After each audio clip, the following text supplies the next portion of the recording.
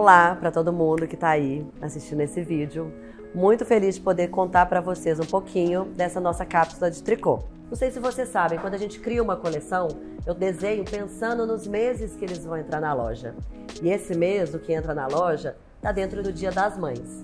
Como a Maria Filó é uma marca que valoriza muito essa instituição mãe, a gente fez produtos pensando um pouquinho em vocês também, tá? Para presentes, para presentear, para homenagear essa pessoa tão importante. Então vem comigo que eu vou mostrar um pouquinho de cada uma dessas peças para vocês.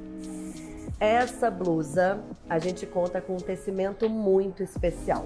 Esse tipo de tecimento, toda vez que vocês olharem, que parece que ele dá uma projeção, sabe? A gente chama de 3D, bolinhas 3D. Toda vez que existe esse volume, pode saber que demorou a tecer. Não é uma peça de fácil tecimento. Na hora que a máquina está tecendo essa peça, ela demora a fazer todos esses desenhos, todos esses volumes 3D. Então eu gosto muito de ter esse tipo de tecimento que a gente descomplica mais uma vez nessa forma de modelagem democrática. Um certo volume de manga, a sanfona fazendo um volume aqui, tá? Quadradinha. Eu tenho uma outra cor dela aqui para mostrar para vocês. Olha que lindo. Vem nesse tom mais clarinho e o mesmo tipo de tecimento. Vou pegar uma segunda peça tem uma peça que talvez você já tenha ouvido essa palavra algumas vezes, que chama intarsia. Intarsia é como se fosse uma estampa localizada, porém a gente faz no tricô. No caso dessa daqui, a intarsia foi feita só com uma textura.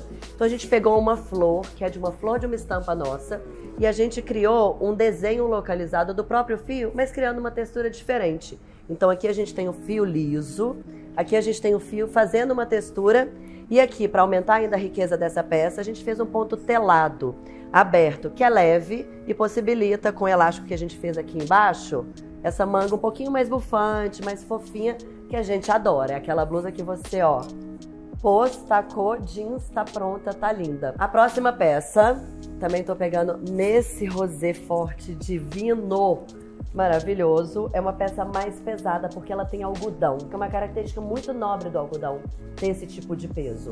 E aí a gente completou fazendo uma gola toda recheada com uma espuma lavável. Então isso na hora que você coloca no corpo tem uma estrutura diferente. Tem uma bossa, não é uma gola rolê, não é uma gola alta, é uma gola com volume. E aí a gente desloca a cava para fazer todo esse volume vindo para baixo. E a gente também tem a opção dessa peça no branco, tá? Com certeza um hit. A gente tá aqui tá falando de peças descomplicadas, de fácil produção, que você colocou e arrasou. Gente, essa próxima peça, eu adoro que ela conta com um fio que já tem naturalmente esse descabeladinho que a gente chama de botonê. Às vezes na malha a gente chama de raspinha de coco. Ele já tem uma textura natural desse fio. É um fio diferenciado que a gente chama de fio fantasia. É um fio que ele já tem uma característica de ser diferente. Então nossa proposta com essa blusa é fazer uma coisa também básica, de fácil uso, mas na hora que você olha a textura é encantadora e irresistível. Então, mais uma vez, a gente está fazendo um volume de manga, estamos fazendo um decote juntinho do pescoço, mas sem apertar demais, quadrada, mais uma vez, looks fáceis, facilidade, vários tipos de pessoas, vários estilos de pessoas podem usar. A gente tem disponível também num tom de amarelo Dijon e de azul, que ficou maravilhoso, meio tom de jeans. Então é descomplicada e essa vocês vão perceber que ela é mais leve, dando essa possibilidade também da gente mostrar que o tricô tem peso, mas a gente também cria peças com, com peso de malha, com peso meio de t-shirt, para ficar fácil o uso. Nossa próxima peça, na verdade, nossas próximas peças que a gente amou tanto, que a gente fez quatro opções de cor, é o nosso querido do momento, nosso tricô Deep Dye. Deep Dye, traduzindo mergulho profundo, ele é diferente do tie-dye, que é aquele, aquela técnica que você amarra e cria aquelas, aqueles tingimentos meio abertos e tal. O deep dye, essa peça é toda tecida, tá? É uma peça também que tem um toque de algodão, tem um pouco de volume na manga, mas a gente também prezou pelo conforto o tempo todo, frisando mais uma vez para vocês, modelagens descomplicadas e fáceis de usar.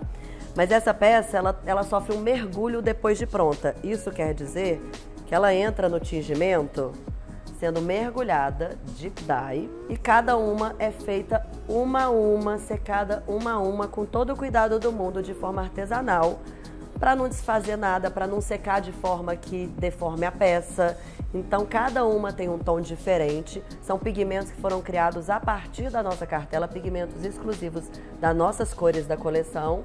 E a gente fez quatro opções de cor. Tenho aqui duas para mostrar para vocês. Então, existe um pequeno diferencial de, de, até onde a tinta vai, de até onde a tinta dá uma borradinha na hora desse mergulho. São peças únicas, feitas uma a uma. Não tem como ser mais especial do que isso agora, gente. Gente, para encerrar o que eu tenho hoje de peças aqui para mostrar para vocês, além desse casaco lindo que eu estou usando, dá licença, é essa blusa que é um pull. Eu adoro ela porque ela representa tudo de tricô, que é tradicional de tricô. E o que, que a gente faz? A gente usa a gola, rolê, grossa, gostosa, quentinha, esse cachecol de inverno. As tranças, que nada mais tradicional do que uma trança telada de tricô. É uma peça que ela tem um ar de crochê. Quando você chega pertinho, você vê que são vários fios sendo tecendo juntos, que é o que eu falei das máquinas mais grossas. Possibilitam que a gente pegue vários cabos de fio e faça esse tricô mais robusto, mais pesado. E qual que é a carinha Maria Filó que a gente dá nela? A gente tem franjas já de máquina, toda feita aqui na cava deslocada, que dá um volume lindo, foge de volume em cima, de volume, mas já cai para o meio do braço esse volume. A gente tem fenda, já que ele é um, um, um pull mais comprido, então ele não é, não é um pull para ser desconfortável, para pegar no quadril, para impossibilidade de você usar como uma saia. E aí, o que a gente faz de assinatura? A gente coloca um cabinho, um pouquinho de lurex prata, que é tecido em toda a peça. Então, você vai ver essa peça de perto, ela é um pull, com essa cara de tradicional de tricô, mas ela tem ali um brilhinho muito, muito pouco limitador, que só dá uma assinatura um especial para esse tecimento. É isso, pessoal. Eu acho que agora, para finalizar, é uma dica cuidem do seu tricô da mesma forma que ele foi cuidado para ser feito para vocês, com muito amor, muita atenção e muito carinho. Tricô é uma peça duradoura se ela for bem cuidada. Algumas tramas são muito abertas, outras mais fechadas, mas sim, ele pode ser sensível a objetos pontiagudos, anéis, brincos. Então, pensando muito nisso, além das instruções de lavagem, para você lavar sempre a mão, para você não pendurar para que ele não deforme com o próprio peso, secar deitado. Eu acho que outro carinho que a Maria Filó também já ajuda vocês fazendo é que todos vêm condicionados dentro de sacos para ser guardado sempre dobrado e sempre não entrar em contato com outras peças que podem prejudicar o tecimento. Então a gente já passa para vocês, com todo carinho, todo amor, a forma de vocês também guardarem o tricô que é feito para vocês, dessa forma que eu adoro, a forma Maria Filó de fazer tricô. Um beijo!